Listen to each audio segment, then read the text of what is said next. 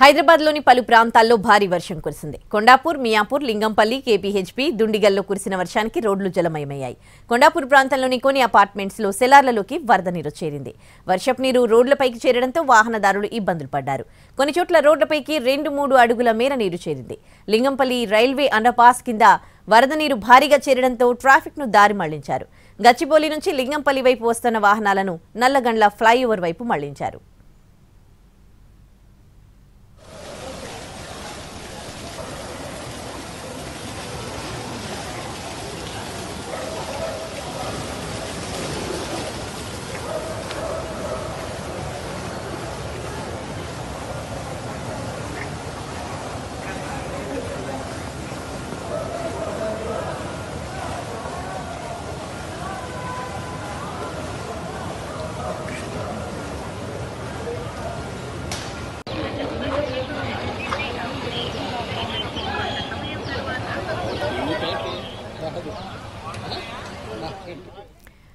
హైదరాబాద్లోని పలు ప్రాంతాల్లో భారీగా వర్షం కురిసింది. కొండాపూర్ బియాపూర్ లింగంపల్లి కేపీహెచ్బి దుండిగల్లో కురిసిన వర్షానికి రోడ్లు జలమయమయ్యాయి.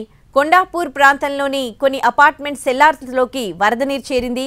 వర్షపు నీరు రోడ్లపైకి చేరడంతో వాహనదారులు ఇబ్బందులు పడ్డారు. కొన్ని చోట్ల రోడ్లపైకి రెండు మూడు అడుగుల మేర నీరు చేరింది. లింగంపల్లి రైల్వే అండర్ పాస్ కింద వరద నీరు భారీగా చేరడంతో ట్రాఫిక్ను దారి మళ్ళించారు.